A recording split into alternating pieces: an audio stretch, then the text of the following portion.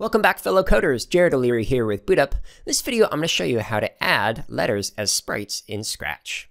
So first thing that you might want to do when you open up Scratch is you might want to get rid of Scratch Cat. To do that, all we have to do is just go over to this X and click on it and say goodbye Scratch Cat.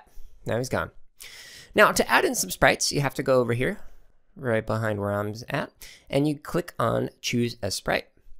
This opens up a new menu for you, and there's a bunch of options up here for you, and you can scroll down if you'd like to, or you can even search for stuff like letter.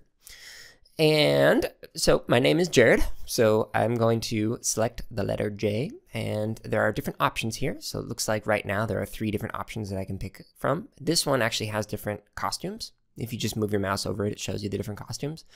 Um, I kind of like this one, so I'm just going to go with this. So I click on it, and ta-da, it adds it to uh, the project. So now what I'm going to do is I'm going to add in a letter for each uh, letter in my name. Wow, I work pretty fast, don't I?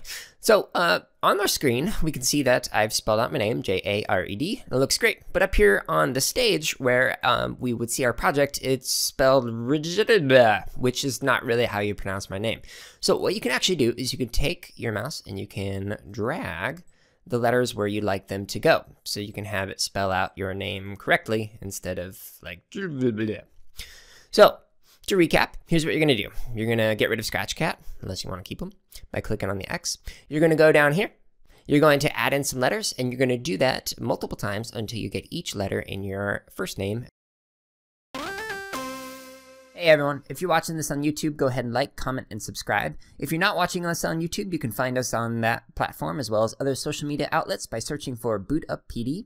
And if you're looking for more free lessons, projects, and resources for teachers and students, visit us at bootuppd.org, where you can also learn about our high quality professional development.